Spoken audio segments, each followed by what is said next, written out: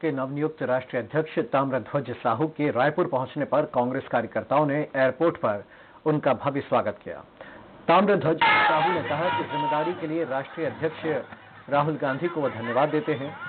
देश भर में ओबीसी सेल को मज़बूत करना अब उनकी ज़िम्मेदारी होगी और जो ज़िम्मेदारी उन्हें मिली है उस पर वो खड़ा उतर कर दिखाएँगे। इसके अलावा उन्होंने कहा कि संगठन को नए सिरे से खड़ा करना उनकी प्राथमिकता में शामिल है।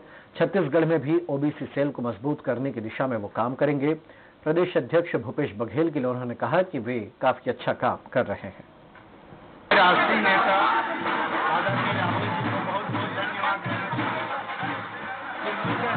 कार्यकर्ता को एक बड़ी अहम ज़िम्मेदारी दी। और पूरे भारतवर्ष के सभी प्रांतों में ओबीसी सेल को खड़ा करने के लिए उन्होंने जो कहा है मैं उनको धन्यवाद देना चाहता हूँ।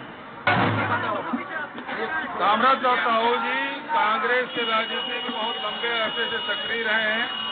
सामाजिक क्षेत्र में लगातार सक्रिय रहे हैं।